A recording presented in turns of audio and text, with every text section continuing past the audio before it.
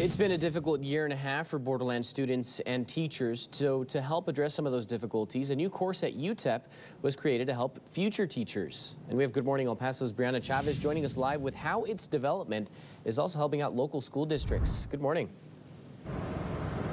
Good morning. Well, the course is called Responsive Classroom Management, and it's being taught to upperclassmen with UTEP's College of Education who are currently student teachers.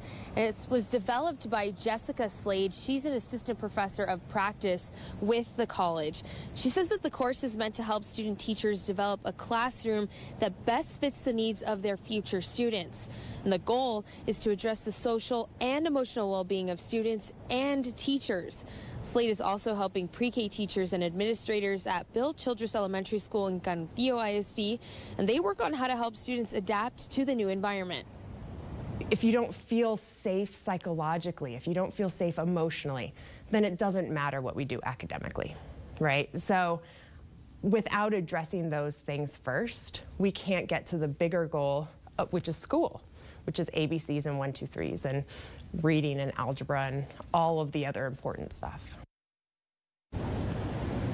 And the class was officially launched this semester. Slade tells me that she hopes to gather as much data and feedback as possible in order to make the course better next semester.